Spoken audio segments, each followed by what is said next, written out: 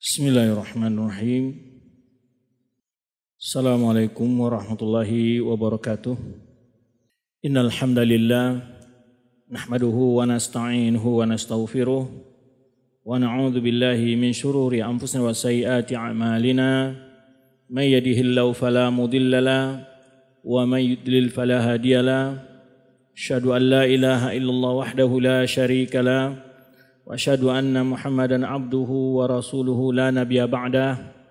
أما بعد فإن أصدق الحديث كتاب الله وخير الحديث حديث محمد صلى الله عليه وسلم وشر الأمور محدثاتها وكل محدثة بدعة وكل بدعة ضلالة وكل ضلالة في النار. الإخوة والأخوات رحمة الله سبحانه وتعالى. Alhamdulillah pujian syukur kepada Allah Subhanahu wa taala di malam hari ini kita dimudahkan oleh Allah SWT untuk melanjutkan pembahasan kita yaitu menjawab berbagai tuduhan terhadap dakwah Syekh Muhammad bin Abdul Wahab rahimahullah taala. Baik. Tuduhan yang berikutnya yang dituduhkan kepada beliau adalah bahwa beliau dituduh menyerupakan Allah dengan makhluk.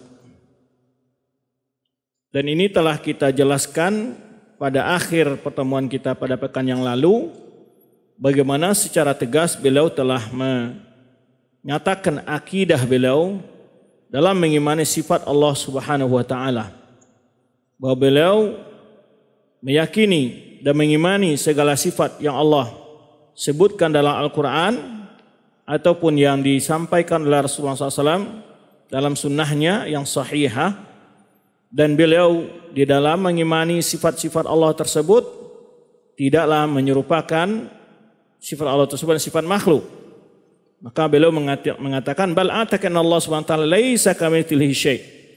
Bahkan saya benar-benar meyakini bahwa Allah taala tidak sepertinya sesuatu pun atau tidak seperti sesuatu pun.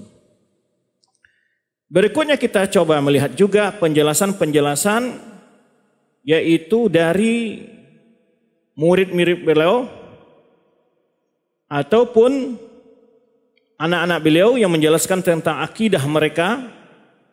Setelah itu nanti akan kita jelaskan siapakah orang-orang yang menuduh beliau dengan tuduhan tersebut.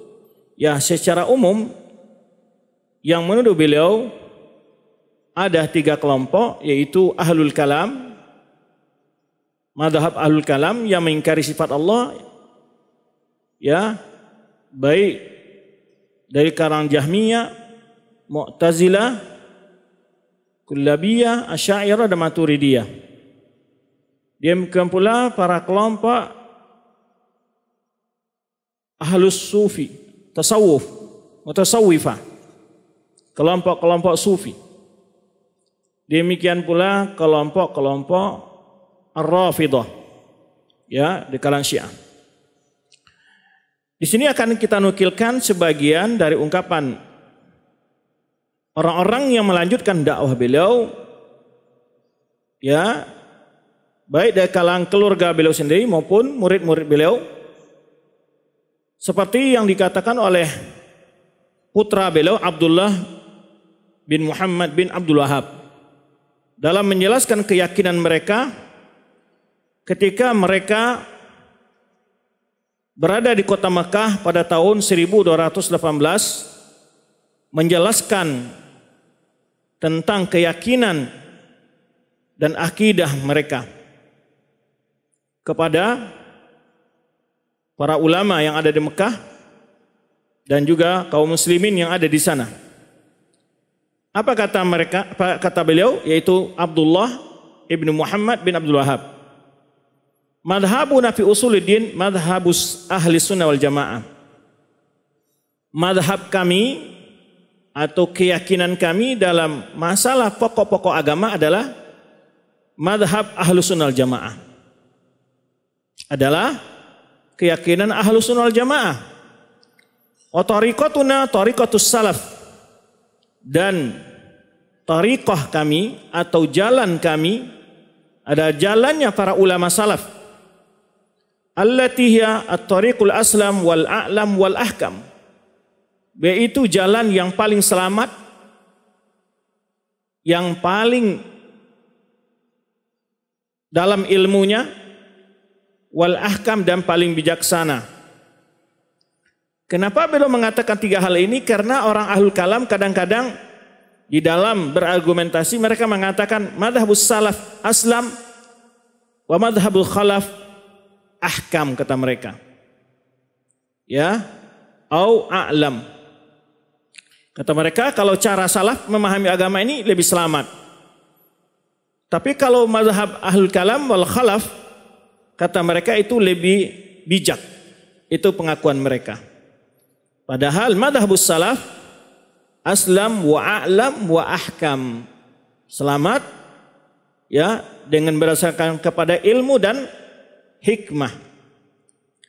Khilafan liman qala tariqatul khalaf a'lam. Ya, khilafan maksudnya menyelisihi pandangan orang-orang cara khalaf. Khalaf itu adalah digunakan untuk menyebut dua hal. Imma Eh itu yang di, yang dimaksud di sini adalah yaitu tariqah ahlul bidah yang menyalisi mazhabus salaf. Berbeda dengan ungkapan orang yang mengatakan bahwa cara salaf adalah uh, cara khalaf orang terakhir atau ahlul bidah itu lebih alam. Wa hiya anna nuqiru ayatis sifat. Apa itu tariqatus salaf? Kata dia adalah bahwa kami mengakui, mengimani ayat-ayat sifat dan hadis-hadisnya. Wa nakilu maknaha ma'atiqadi haqaiha ila Allah Ta'ala. Dan kami serahkan hakikat maknanya kepada Allah Subhanahu wa taala. Jadi Allah memiliki sifat tapi tidak mengetahui tentang hakikat bentuknya kecuali Allah itu sendiri.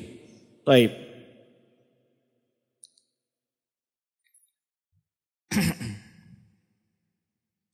Kemudian Juga Syekh Abdullah bin Muhammad bin Abdul Wahab menjelaskan tentang keyakinan mereka ya menjelaskan jawaban terhadap pertanyaan keyakinan mereka tentang ayat sifat, tentang ayat-ayat bicara tentang sifat-sifat Allah. Apa kata beliau? Alladzina taqiduhu walladzina Allah bihi yang kami yakini dan yang kami beragama dengannya kepada Allah wa madhhabus salafil ummah kami berpegang teguh dengan madhabus salafil ummah, madhabus salaf. Wa immatiha dan para ulama-ulamanya minas sahabah. Jadi mereka adalah orang-orang yang mengikuti keyakinan salaf ummah, salaful ummah yaitu siapa? Dari kalangan para sahabat, wat tabi'in dan para tabi'in ya, wat tabi'in lahum bi ihsanin dan para tabi'in dan ulama-ulama madhab yang empat yaitu Imam Abu Hanifah, Imam Malik, Imam Syafi'i dan Imam Ahmad. Wa ashabuhum ya, wa ashabihim. Apa washabihim adalah para ulama-ulama di kalangan madhab yang fikih yang empat tersebut. Radhiyallahu anhum ajma'in. Wa huwa al-iman bidzalika wal iqrar bihi imrarahu kama ja'at min ghairi tashbihin wala tamthil wala ta'til yaitu mengimani ayat-ayat sifat tersebut, meyakininya dan memahaminya seperti mana yang terdapat di dalam nas tersebut tanpa menyerupakan dengan makhluk wala tamsil dan tidak. Ya tasbih tamsil itu artinya tidak menyerupakan tidak me, apa namanya memisalkan sifat Allah dengan sifat makhluk. Wala ta'til dan juga tidak mengingkari sifat-sifat Allah tersebut mimman sabiluhum fil i'tiqad. Di antara orang-orang yang menempuh jalan mereka dalam keyakinan al-iman bi sifatillah, meyakini sifat-sifat Allah dan nama-nama Allah allati wasafa biha nafsah yang Allah sifatkan dengannya dirinya wasamma biha nafsah dan Allah namakan dengannya dirinya fi kitabihi dalam kitabnya wa tanzilihi ya dalam Al-Qur'an au ala lisan Rasulullah sallallahu alaihi wasallam atau melalui risan Rasulullah SAW minggirai ziyadatin alaiha tanpa melakukan menambah-nambah di atasnya wala nuksan minha dan tidak pula menguranginya wala tajawuzulaha wala tajawuz tajawuzalaha dan juga tidak melewati atau melampaui batas-batasnya. Wala tafsir laha dan tidak pula menafsirkannya dengan penafsiran-penafsiran yang dipakai oleh para ahli kalam. Wala ta'wil laha bima yukhalifu zahiraha dan bukan pula mentakwil ayat-ayat sifat tersebut yang menyelisihi zahir dari ayat tersebut. Wala tashbiha bi sifatil makhlukin dan tidak pula menyerupakan sifat-sifat Allah tersebut dengan sifat makhluk. Jadi kalau di inilah pernyataan-pernyataan yang tegas bahwa beliau mengatakan bahwa sifat Allah tidak seperti sifat makhluk. Wala simatal muhdatsina bukan pula memiliki ciri-ciri seperti sifat makhluk. Taib. Ini ungkapan-ungkapan ya yang dijelaskan oleh para ulama-ulama tentang hakikat dakwah Syekh Muhammad Wahab dalam mengimani sifat-sifat Allah Subhanahu wa taala. Ya, di sini banyak sekali nukilan-nukilan dari para ulama-ulama yang menjelaskan keyakinan ulama salaf dalam mengimani sifat Allah dan itulah yang dipegang oleh Syekh Muhammad Wahab dan itulah yang beliau ajarkan kepada murid-murid beliau dan orang-orang yang mengikuti dakwah beliau. Ada seorang ulama murid dari murid beliau yaitu Syekh Hamad bin Nasir bin Muammar. Beliau menjelaskan tentang akidah salaf tentang asma sifat dan dalil-dalil yang menjelaskan tentang akidah salaf. Apa kata beliau? Fa syaikhuna rahimahullah wa atba'uhu. Fa syaikhuna maksudnya siapa? Syekh Muhammad Wahab.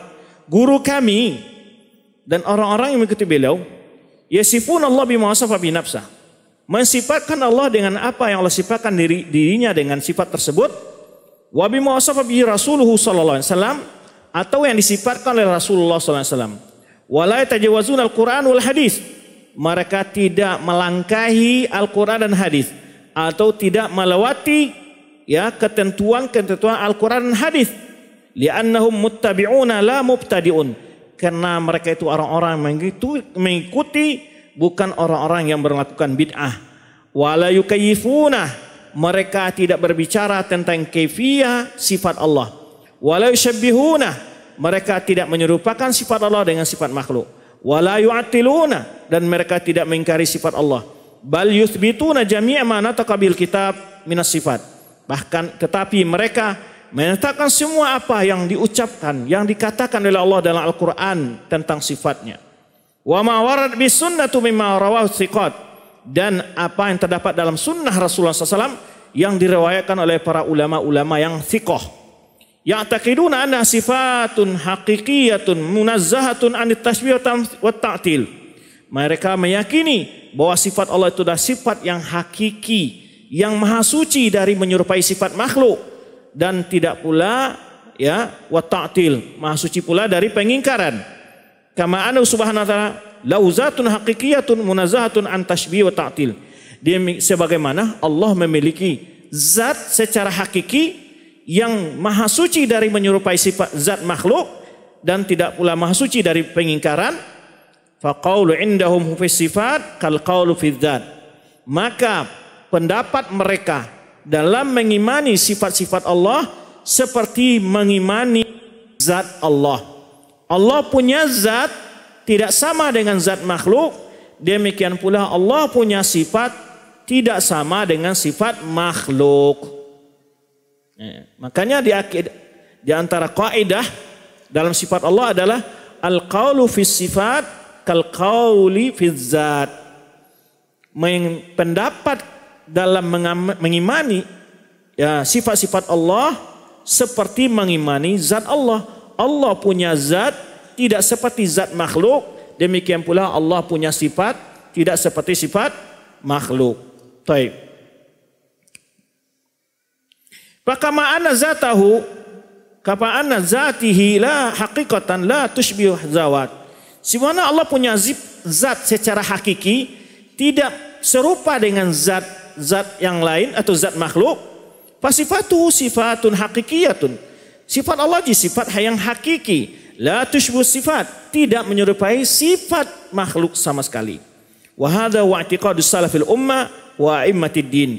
Inilah keyakinan ya para salafil ummah, para generasi salaf atau generasi ulama-ulama terdahulu dari kalangan umat ini wa din dan tokoh-tokoh agama Islam dari kalangan ulama wa huwa mukhalifun li i'tiqadil musyabbihin keyakinan mereka sangat berbeda dengan keyakinan orang-orang yang menyerupai Allah dengan makhluk. Dan juga berbeda dengan keyakinan orang-orang mengingkari sifat Allah.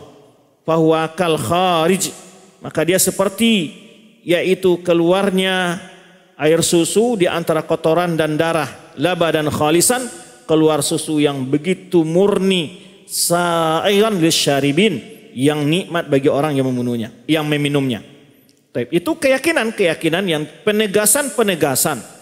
Bagaimana keyakinan yang diyakini oleh Syekh Muhammad Wahab dan apa yang beliau sampaikan adalah sesuai dengan pandangan ulama salaf demikian pula murid-murid beliau menegaskan hal itu di dalam penjelasan-penjelasan mereka baik menjelaskan tentang keyakinan Syekh sendiri ataupun membahas tentang bagaimana mengimani sifat-sifat Allah Subhanahu wa taala. Taib. Ini kalau kita nukilkan ini banyak sekali nukilan-nukilan dari berbagai uh, ulama tentang hal ini. Ya. Di antara di sini berkata Syekh Abdurrahman bin Hasan. Abdurrahman bin Hasan bin Muhammad bin Abdul Wahab. Ini cucu beliau. Ya. Ketika menjelaskan kesesatan orang-orang yang mengingkari sifat Allah mu'attilah fis sifat. Orang yang mengingkari sifat-sifat Allah.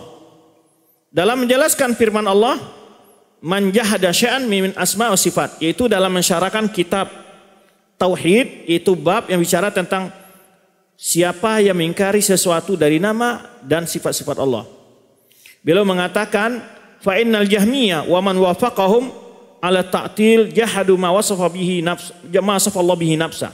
Sesungguhnya orang Jahmiyah dan orang-orang yang sependapat dengan mereka mengingkari sifat-sifat Allah yang telah Allah sifatkan dengannya dirinya atau yang dan juga disifatkan oleh Rasulullah SAW dari sifat yang sempurna dan sifat yang agung. Wabanu hadza ta'til ala aslin batil as-saluhu min indi anfusihim. Lalu mereka dalam mengingkari sifat ini membangun pondasi yang sangat keliru yang mereka buat dari yang mereka lahirkan dari pikiran mereka sendiri min indi ampusihim. Fakalu jadi mereka orang Arab Jamiah ini mengatakan apa? Hadis sifat dia sifatul ajsam. Jadi mereka apa? mengatakan sifat-sifat ini sifat ajsam. Ajsam maksudnya apa? Sifat makhluk itu kata mereka. Ajsam itu mereka gunakan istilah untuk menyebutkan dalam bagaimana untuk uh, menolak sifat tersebut maka mereka katakan sifatul ajsam. Falzam min isbatiha ayakuna Allah jisman. Kalau kita tetapkan sifat-sifat Allah dalam Al-Quran ini katanya, berarti Allah itu punya tubuh seperti manusia katanya. Nah ini tasbih. Inilah dasar kesesatan pikiran mereka. Ketika mereka mengatakan sifat-sifat Allah itu yaitu sama seperti sifat makhluk. Ini dasar kesesatan mereka awalnya. Lalu lam yafhamu min sifatillah illa ma fahimu min khasais sifatil makhlukin. Ketika mereka tidak memahami dari sifat-sifat Allah yang terdapat dalam Al-Quran dan Sunnah yang sahihah, kecuali yaitu sifat-sifat makhluk. Khasais sifatil makhlukin. Yaitu kekhususan-kekhususan yang ada pada sifat makhluk. Itu yang tergambar oleh mereka saat memahami ayat-ayat tentang sifat Allah ataupun hadis-hadis tentang sifat Allah. Itu yang terpahami oleh mereka dalam pikiran mereka awal. Jadi mereka memahami ayat-ayat sifat tersebut atau hadis-hadis sifat tersebut dengan makna yang ada pada makhluk, dengan kefiah yang ada pada makhluk. Artinya mereka memahami makna sifat Allah bentuknya sama seperti sifat makhluk. Itu yang mereka pahami. Lalu mereka tatkala memahami demikian ya fasabbahullah fi ibtida'i arwahim al-fasda bi khalqihi. Maka pertama mereka itu menyuparkan Allah dengan makhluk. Lalu kemudian mereka berupaya untuk menghindar pemahaman menyerupakan Allah dengan makhluk mereka mentakwil ayat-ayat sifat itu dengan asumsi agar tidak menyerupakan sifat Allah dengan sifat makhluk. Itulah sikapnya orang Jahmiyah tadi, itulah sikapnya Ahlul Kalam, itulah pandangannya orang-orang Ahlut Ta'til. Jadi kata beliau, Summa atalu sifatul kamali. Lalu mereka mengingkari sifat-sifat Allah yang sempurna.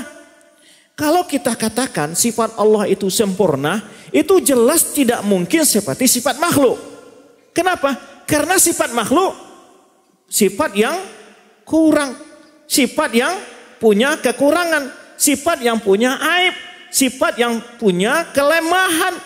Bagaimana bisa disamakan sifat Allah yang sempurna dengan sifat makhluk yang memiliki banyak kekurangan dan kelemahan. Nah, di sinilah kekeliruan mereka. Jadi menurut mereka, ketika ada ayat ataupun hadis bicara tentang sifat Allah, langsung yang masuk ke dalam pikiran mereka sifat makhluk. Semestinya adalah ini sifat Allah tidak sama seperti sifat makhluk. Karena sifat Allah itu sifat yang sempurna. Sedangkan sifat makhluk sifat yang penuh kekurangan, penuh kele, kelemahan. Nah, taib. Jadi itu langkahnya yang membuat mereka tadi mentakwil ayat-ayat sifat. Lalu mereka akan mengatakan nanti zahirun nusus gairu murad. Kata mereka, zahir nas-nas sifat itu tidaklah itu yang dimaksud, tapi ada takwilnya kata mereka. Kenapa? Karena mereka memahami dari zahir nas-nas sifat itu, dalil-dalil sifat itu, zahirnya seperti yang ada pada makhluk. Padahal zahir nas itu bukan sifat yang ada pada makhluk. Tapi zahir nas itu adalah sifat yang sesuai dengan kesempurnaan Allah subhanahu wa ta'ala. Tidak boleh diserupakan dengan makhluk. Karena sifat makhluk itu banyak kekurangan yang kelemahannya. Jangankan sifat Allah dengan sifat makhluk, sifat sesama makhluk aja tidak sama. Sebagian sifat makhluk ada yang lebih hebat dari sifat makhluk yang lainnya. Contoh saja penglihatan. Penglihatan manusia itu lebih kurang dari penglihatan kucing. Buktinya apa? Kucing kalau jalan malam nggak pernah pakai senter. Dia bisa jalan tanpa ada lampu. Kalau manusia bisa nggak jalan malam tanpa ada lampu? Berarti di sini pandangan kucing lebih hebat dari pandangan manusia. Nah, sesama makhluk aja nggak sama kualitas sifatnya. Bagaimana akan disamakan antar sifat Allah dengan sifat mak makhluk? Sifat Allah itu maha sempurna. Pendengaran juga demikian. Sesama manusia berbeda-beda tingkat pendengar mereka. Ada manusia yang mendengar dengan berbisik-bisik sedikit terdengar oleh dia jarak 3 kilo, eh, jarak 3 meter terdengar. Tapi ada yang semeter aja ngomong nggak dengar oleh dia. Jadi sifat-sifat makhluk itu memiliki kelemahan dan keku, kekurangan. Maka kalau kita sudah mengatakan sifat Allah itu maha sempurna, otomatis kita sudah mengatakan tidak sama antara sifat Allah dengan sifat mak makhluk. Kenapa? Karena sifat makhluk banyak kekurangan dan kelemahannya. Sedangkan sifat Allah tidak ada sedikit pun kekurangan dan cacatnya. Karena sifat Allah itu maha sempurna. Seperti penglihatan Allah. Adakah yang tersembunyi dari penglihatan Allah? Tidak ada satupun. Adakah tersembunyi dari pendengaran Allah? Tidak ada satupun yang tersembunyi. Ada pendengar manusia? Kalau seandainya kita ini kajian tidak pakai mikrofon ini, udah nggak jelas suaranya, ya kan? Perlu bantuan. Nah menunjukkan bahwa sifat Allah maha sempurna. Tidak mirip dengan sifat makhluk sama sekali. Why meskipun namanya sama. Karena sama nama bukan berarti sama bentuk dan hakikat. Karena banyak sekali sifat makhluk sama namanya tetapi beda hakikat dan bentuk. Ya, seperti sayap ada sayap kapal terbang, ada sayap nyamuk, ada sayap itik, ada sayap ayam. Semuanya namanya sayap. Apakah bentuk sayap kapal terbang seperti sayap nyamuk? Tidak. Walaupun namanya sayap ataupun tangan, apakah sama tangan manusia dengan tangan gajah? Tidak. Apakah sama hidung manusia dengan hidung gajah? Hah? Tidak. Ya kan? Apakah sama telinga manusia dengan telinga gajah? Tidak, namanya sama. kefiah dan bentuknya berbe berbeda. Jika sesama makhluk aja ada perbedaan bentuk dan hakikat dari sifat yang sama nama, tentu antara Allah dengan makhluk akan jauh sangat berbeda. Kenapa? Karena sifat Allah itu sifat yang maha sempurna. Taib. Maka kata beliau, pertama mereka menyerupakan Allah dalam memahami nas-nas sifat itu orang-orang Mu'attilah dan Jahmiyah ini. Kemudian setelah itu mereka berupaya mengingkari. Akhirnya mengingkari sifat Allah yang Allah tetapkan dalam Al-Quran. Ar-Rahman asistawa. Oh tidak, Allah tidak istiwa. Kenapa? Kalau kita katakan Allah beristiwa berarti Allah kita menyerupakan Allah dengan makhluk. Lu artinya apa? Artinya istaulah kata mereka. Nah, tapi kalau ditanya kali apa apakah di istaulah tidak ada serupa juga? Kan makhluk juga istaulah.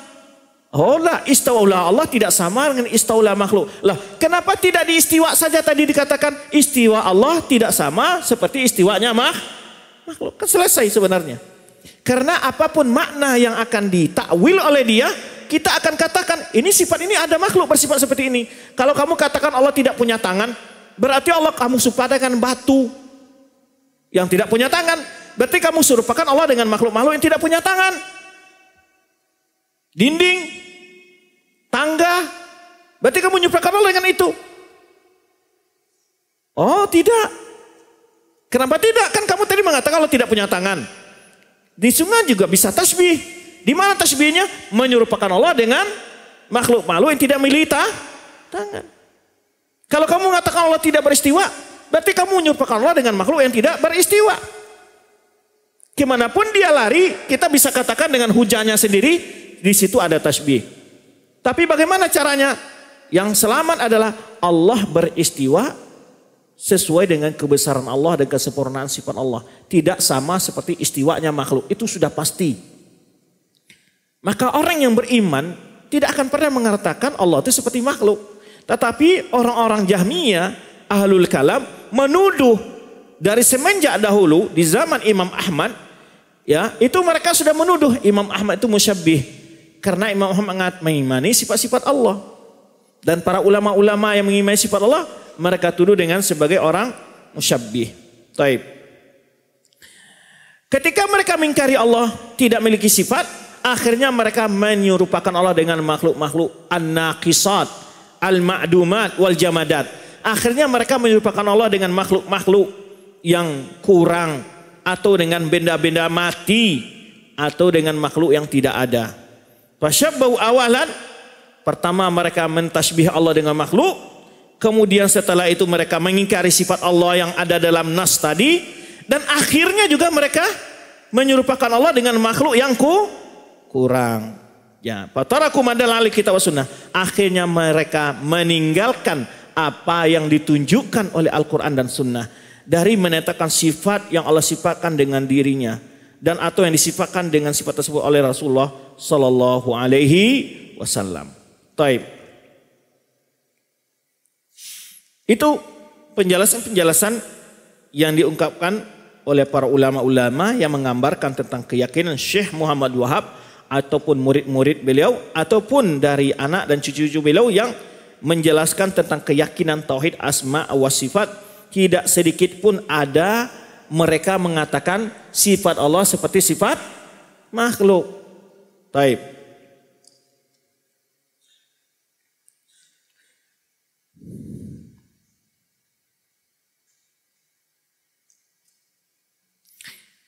Kemudian ya ada kitab Bayanul Mufid fi alaihi ulama Makkah wa Najd min aqaid tauhid yaitu penjelasan tentang hal yang disepakati oleh ulama-ulama Mekah dan ulama Najd tentang akidah tauhid.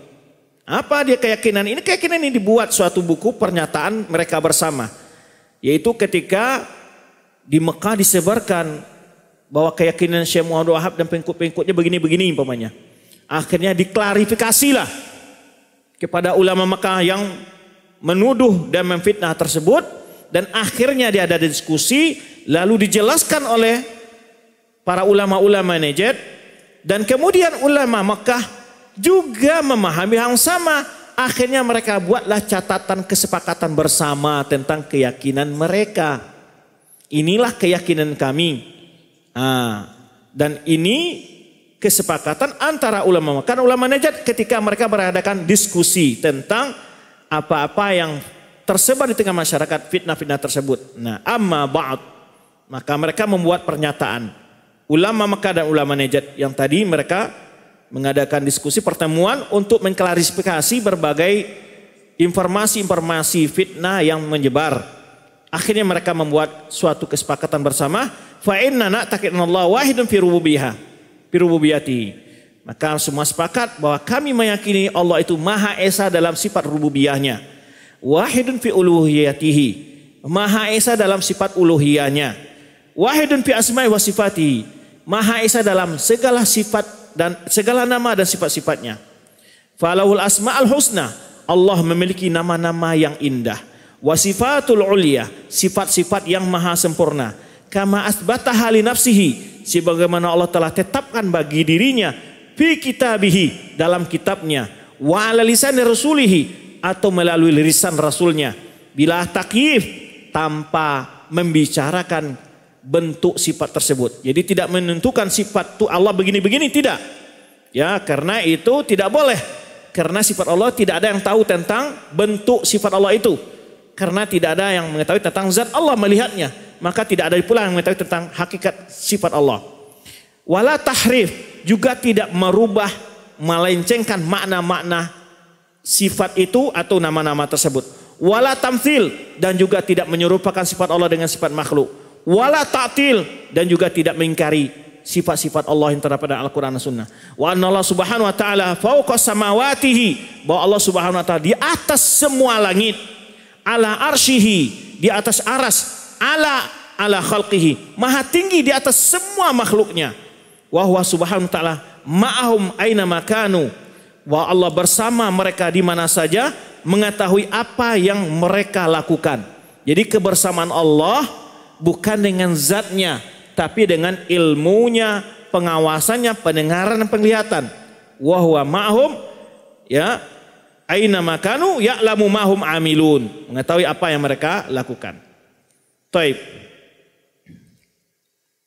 Itu ya pernyataan-pernyataan para ulama tentang tauhid asma was sifat. Taib. Kemudian siapa saja yang membuat kedustaan-kedustaan ini. Ada sebagian disebutkan namanya di sini, ya. Apa alasan mereka? Orang-orang membenci dakwah salafiyah membuat kedustaan terhadap Syekh Muhammad Duhab tersebut. Ha? Menuduh dia sebagai orang yang mengatakan ya menuduh dia sebagai mujassim, menuduh dia sebagai musyabbih dalam sifat Allah di antara mubarirat di antara alasan-alasan mereka menuduh dengan tuduhan bohong tersebut yaitu bahwa Syekh rahimahullah demikian pula orang-orang yang mengikuti beliau meyakini semua sifat yang Allah sebutkan dalam Al-Quran atau disebutkan oleh Rasulullah SAW dalam sunnah yang sahih. Itu sebetulnya ya karena mereka mengimani semua sifat Allah tanpa tasbih tanpa tamsil Wa yamuruna kama ala zahirha. Mereka mengimani sebagaimana zahirnya nas-nas tersebut. Duna tamsil wala tahrif wala ta'til. Tanpa menyerupakan sifat Allah dengan sifat makhluk. Dan tidak pula memutarbalikkan atau memutar maknanya kepada makna yang lain. Dan tidak pula mengingkari sifat-sifat yang telah Allah tetapkan tersebut. Wa yufawwiduna ilmal bikalfiyah ila Allah Subhanahu Mereka menyerahkan ilmu tentang bagaimana kaifiyah atau bentuk sifat Allah itu kepada Allah sendiri karena tidak ada yang tahu tentang bagaimana bentuk hakikat sifat Allah kecuali, kecuali Allah itu sendiri. Maka di sinilah orang-orang yang khusum ya fajalah khusum hadal isbat lalu keyakinan meyakini sifat Allah tadilah dijadikan oleh orang-orang yang memusuhi dakwah beliau untuk menuduh syekh dan orang-orang yang mengikuti beliau sebagai orang menyerupakan Allah dan dengan mah makhluk. Menuduh sebagai tas musyabbih atau mujassim.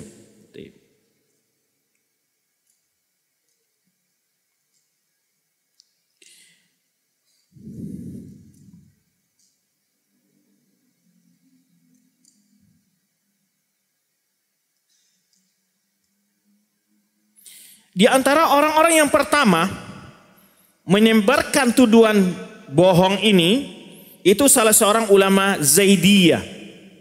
Zaidiyah ini salah satu sekretari kelompok Syiah.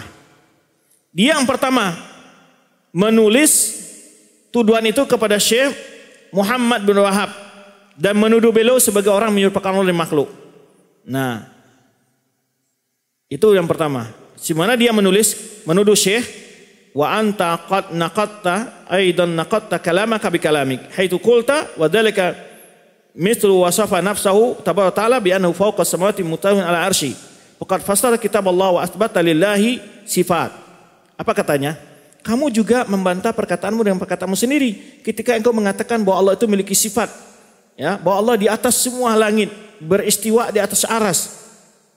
Maka engkau kata orang Zaidi ini telah mentafsirkan kitab Allah dan menetapkan bagi Allah sifat.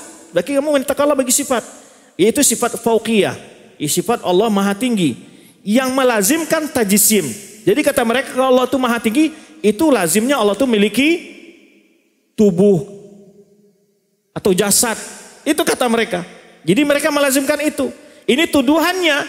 Padahal ya walaisal fauqiyah madkura. Jadi tidaklah Fauqiyah yang Allah sebutkan dalam Ar-Rahman Asistawa. Nah, ini tuduhan-tuduhannya ya. Jadi mereka kamu meyakini Allah itu berisiwa di atas aras, kamu yakin Allah itu di atas semua makhluk, berarti kamu merupakan Allah dengan makhluk, itu artinya. Padahal kan Allah maha tinggi, tidak sama seperti makhluk di atas makhluk yang lain yang bergantung kepada makhluk yang di bawahnya. Allah maha tinggi bukan berarti Allah butuh kepada makhluk yang ada di bawahnya. Jangankan Allah, makhluk aja nggak butuh kepada makhluk yang di bawah. Sekadang langit pertama butuh nggak kepada bumi? Hah? Bergantung nggak langit pertama ke bumi? Langit kedua bergantung nggak ke langit yang pertama? Nggak ada. Allah yang menjadikan langit itu kokoh. Sedangkan makhluk aja nggak pernah berkaitan dengan yang makhluk di bawah sebagian makhluk.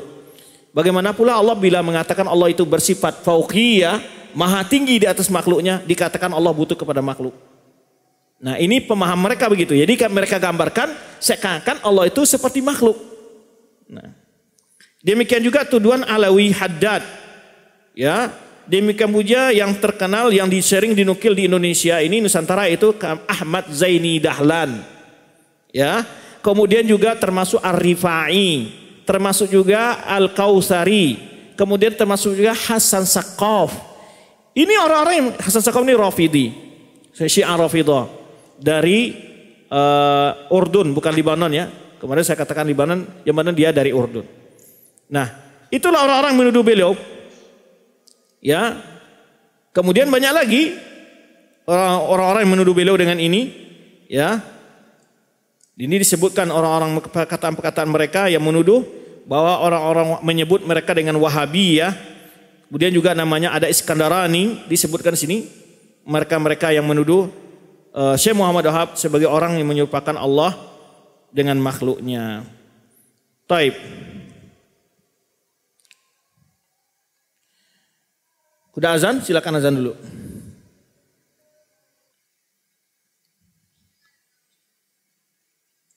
Taib, kita lanjutkan.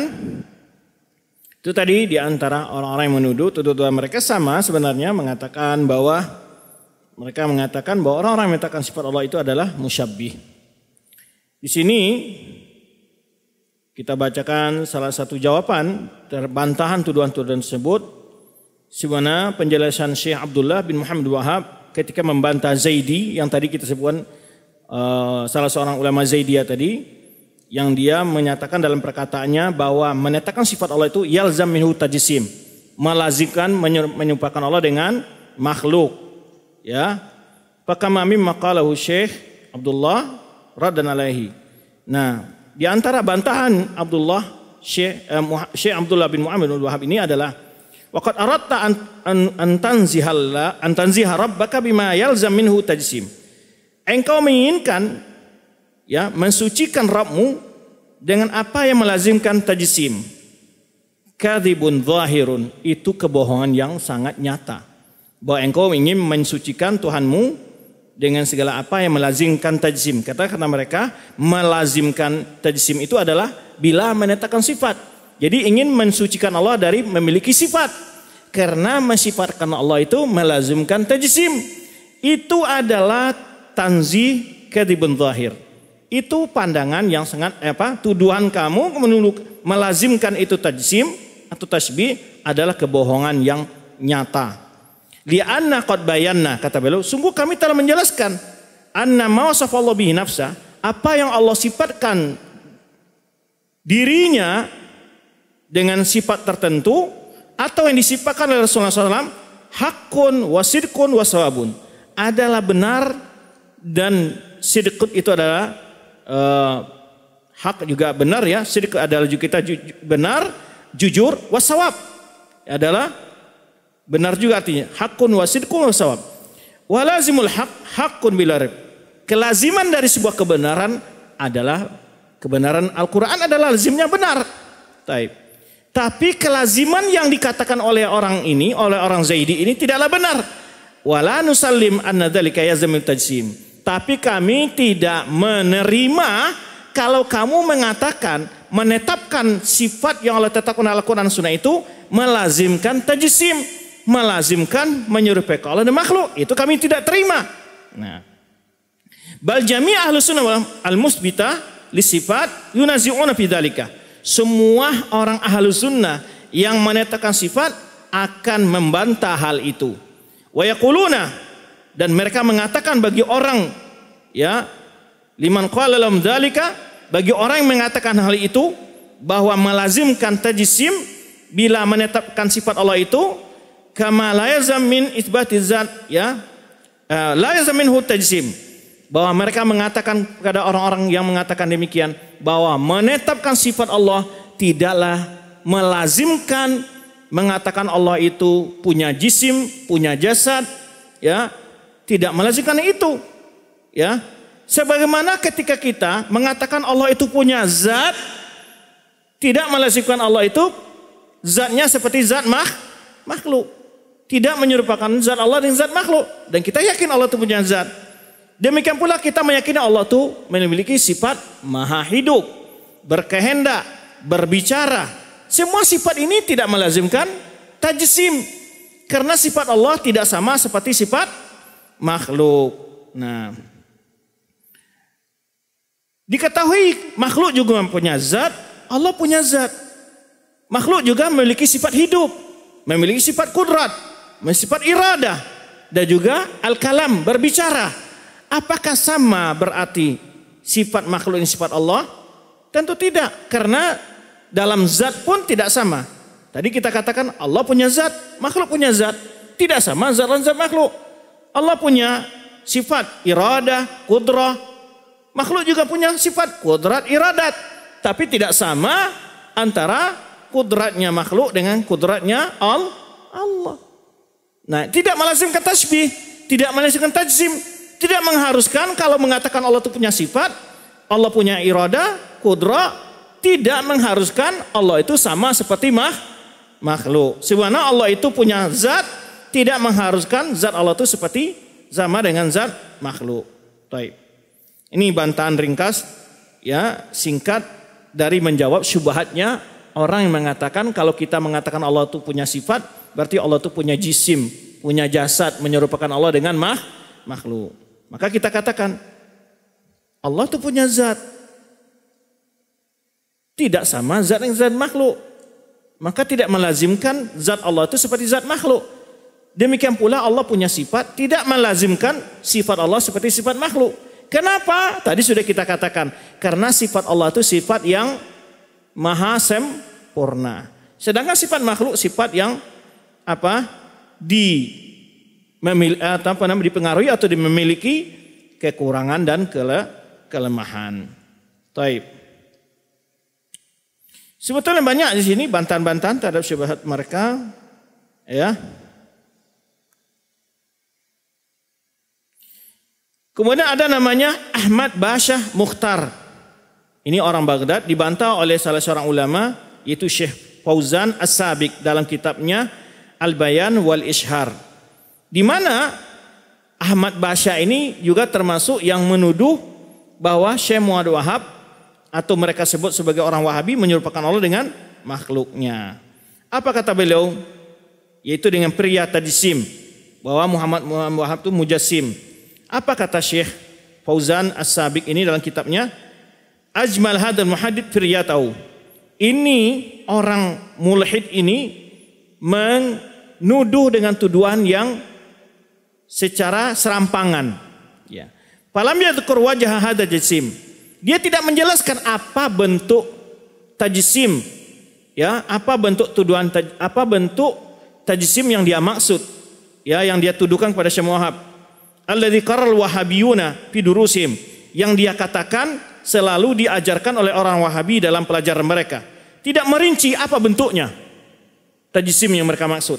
Kata Syekh Fauzan. Tuduhannya ini adalah tujuannya membuat tuduhan itu adalah litadlis untuk membuat pengaburan. Untuk membuat pengaburan tentang hakikat dakwah.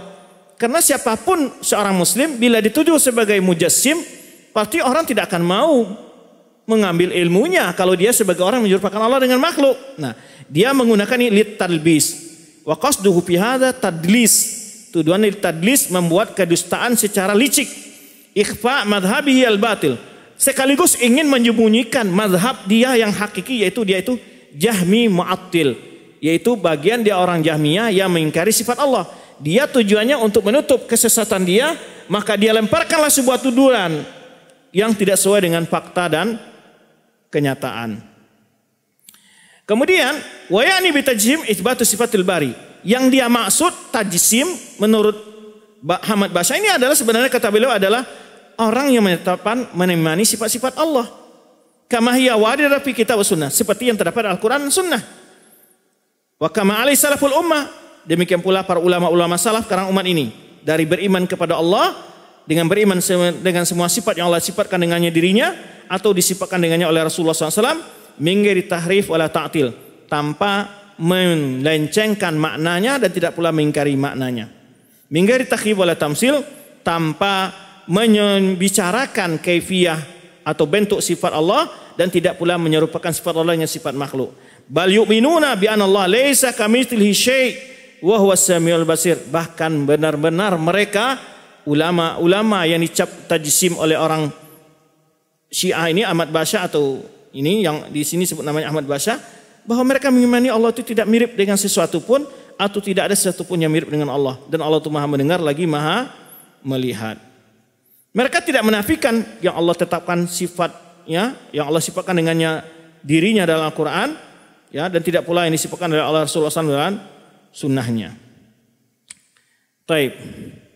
Kemudian ada juga Syekh Muhammad Rashid Ridho membantah tuduhan seorang orang Syiah Rafidah namanya Al-Amili. Dia juga menuduh Syekh Muhammad Wahab ya menyerupakan Allah atau uh, menyerupakan Allah dan makhluk itu dengan istilah tasbih atau tajsim.